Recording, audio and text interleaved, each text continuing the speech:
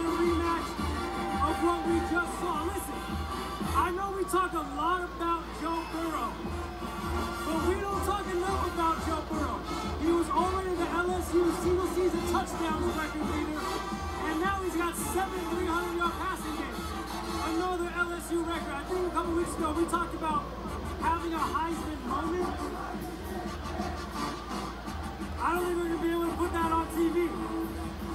Just had a Heisman game in this environment. It was bananas, one of the loudest environments I've ever been in. Here comes the team, so I gotta go. Uh, shout out Gary Striewski being ever mindful of the rights issues that we run into as a network. But besides all of that,